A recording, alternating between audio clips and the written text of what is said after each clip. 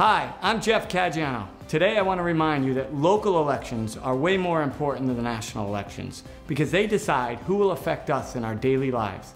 The next election is Tuesday, November 2nd. Please make a plan and get out and vote.